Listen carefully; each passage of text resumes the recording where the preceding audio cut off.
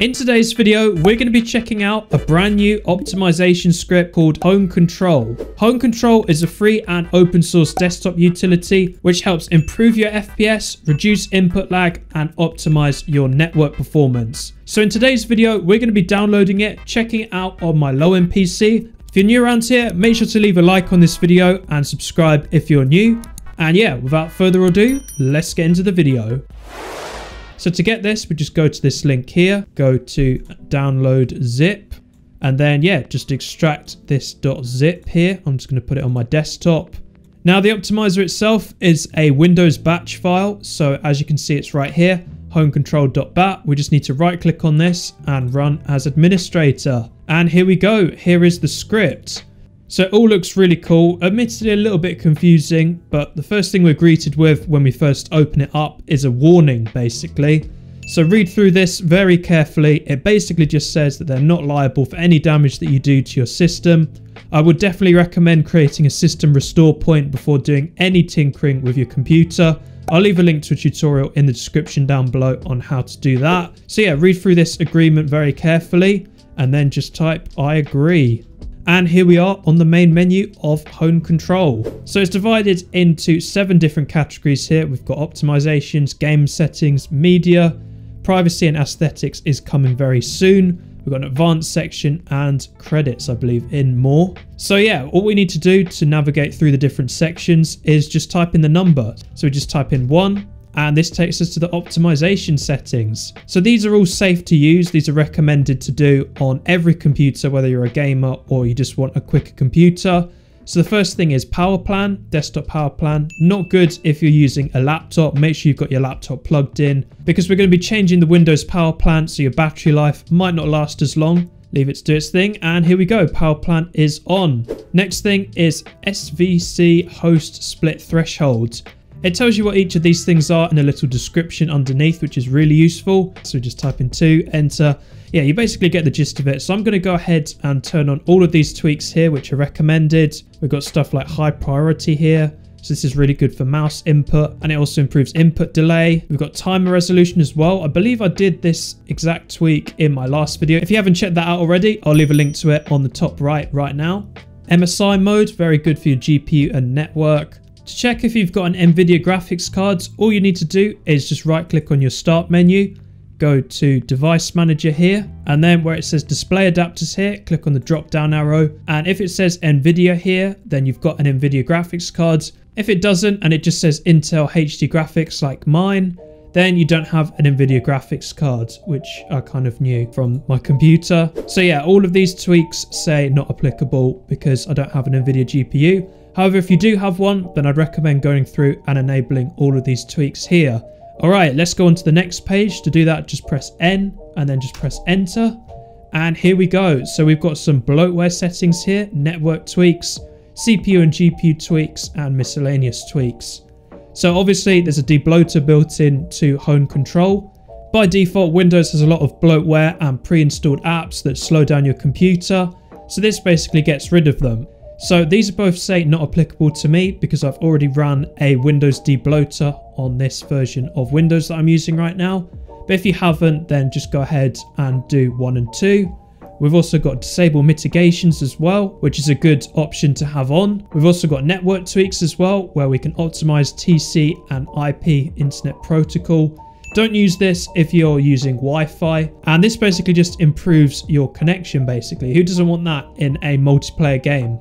We've also got optimize NIC here, which basically optimizes your network cards.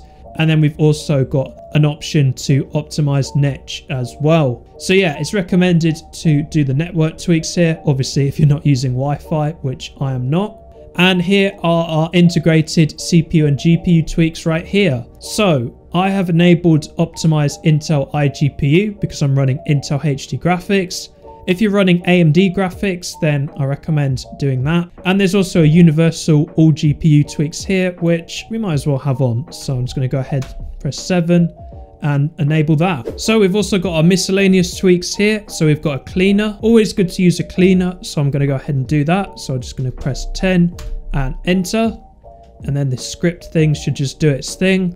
So here we go, scanning. And there we go that has completed and has found nothing to clean. We've also got a game booster as well here, which sets the CPU and GPU to high performance. Just press 11 and enable that. Looks like we've got to open up the disk cleanup command here. Press continue. Looks like that has enabled. And there's also soft restart as well, which basically gives your computer a little restart, which will give you a nice little boost. But I'm not going to do that right now. So that looks like that's the last page of the optimization section. If we just go here, we're back to the screen that we're already on. So just press B and you can go back. So now we're on to game settings. So if we press 2, as you can see here, we've got a Minecraft section here. So we're just going to go ahead and press 1 for Minecraft. So I'm going to go ahead and select 1.8.9 because that's the version that I mostly play.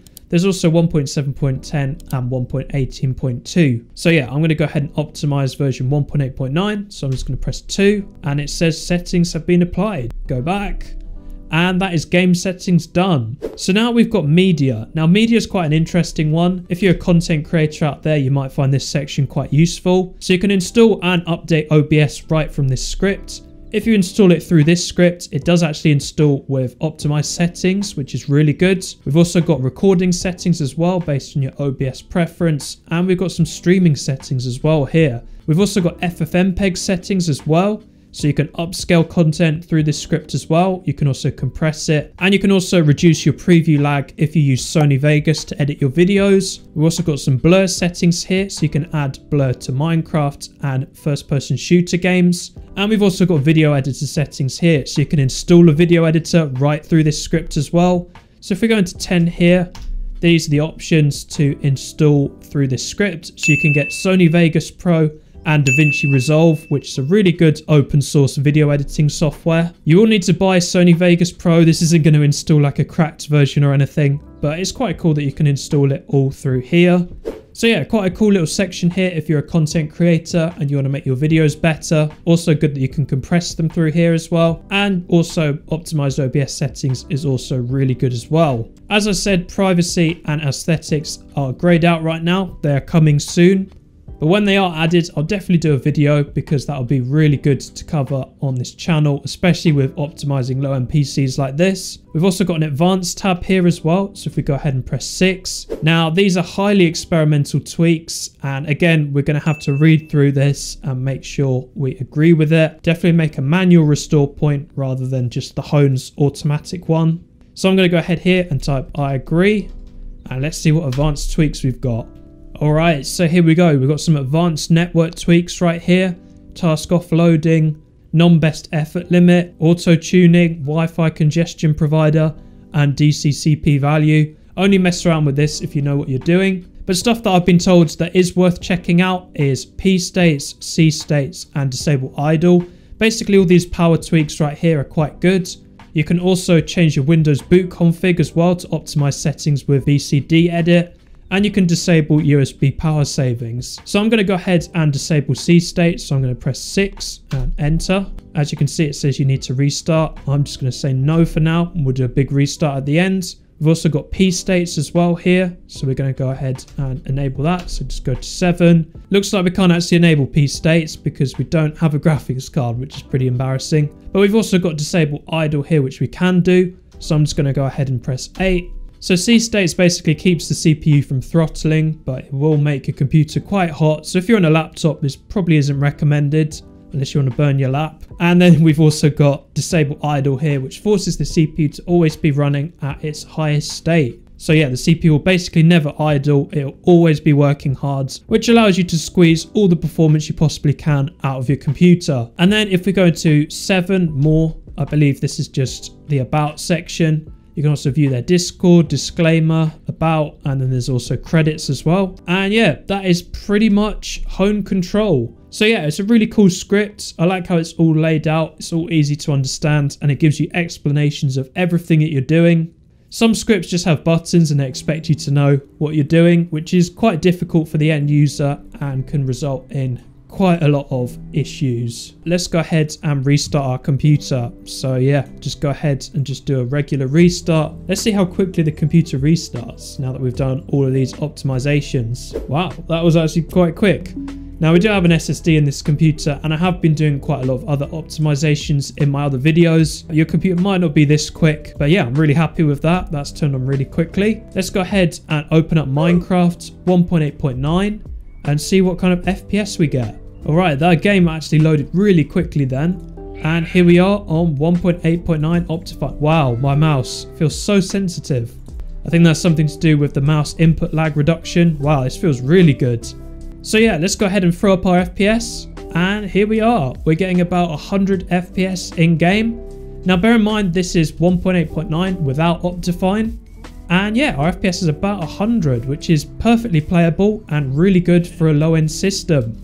If we go ahead and look at our video settings here, these are the video settings that have been applied for us. I have had to put the max frame rate up. For some reason that was on 120. But other than that, this is pretty much the settings it's given us. I mean, we can put graphics on fast, turn the smooth lighting off, turn off clouds and stuff, and that'll probably give us even more FPS. Or we could even install Optifine and that'll get us even more. But yeah, for vanilla, I'm really happy with this performance. This is really good for my low-end PC. So if we look at our task manager here, for some reason you can't do this on Windows 11 anymore. So I'm just going to go ahead and Control Alt Delete Task Manager. Here we go. So as you can see here, our CPU is constantly running at 100%. Now the reason it's doing that is because we disabled idle on the Hone script. So as you can see in the task manager here, it appears to be running at 100%, but that is just a visual bug. But if we have a look at the tasks here, as you can see, there isn't that many background processes here. If I just scroll down, we've just got Minecraft, our GPU driver, and then we've just got about 38 Windows processes, which is pretty good. So yeah, my computer does sound quite loud right now, and that is probably because we have disabled idle. So it's always running at 100%, so it is a little bit on the loud side. So if you are on a laptop, then it's probably recommended not to do that. But the performance we're getting out of this computer is really good. Our FPS is incredible on Minecraft. And yeah, it's just a really good script if you want to quickly optimize your computer. Right, so I just hopped into some Hypixel Duels here. We're going to see what the performance is like doing some PvP here. So yeah, input on my mouse feels so direct. My aim is so much better after applying these mouse fix settings, which is probably the standout feature for me. FPS as well is really good, so I'm really happy with the performance. We're not even on a client. We don't have Optifine or anything like that installed. And our FPS is really good in Hypixel Duels. Feels so smooth and I can PvP really well. Can we get this guy? No. Oh, he dodged my rod. So yeah, a message to all the subscribers and future subscribers.